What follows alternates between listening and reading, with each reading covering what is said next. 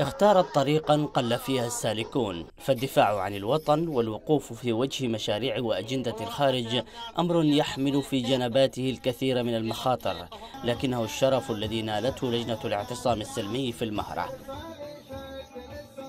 سنوات من النضال في معركة عنوانها الانتصار للسيادة وإفشال مخططات الخارج وحماية البوابة الشرقية لليمن وهو خيار اليمنيين أجمع. وقد خذلوا من قبل مكونات انساقت وراء أجندة الخارج وماله السياسي.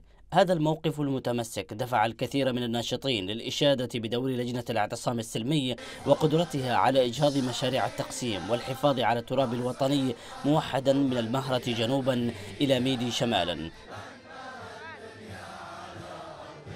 ناطق لجنة الاعتصام السلمي علي بن محامد قال إن التأييد الشعبي الواسع الذي تحظى به اللجنة سبب في تصدرها مشهد الدفاع عن الأرض اليمنية ومواجهتها لأطماع الخارج ومخططاته منذ سنوات.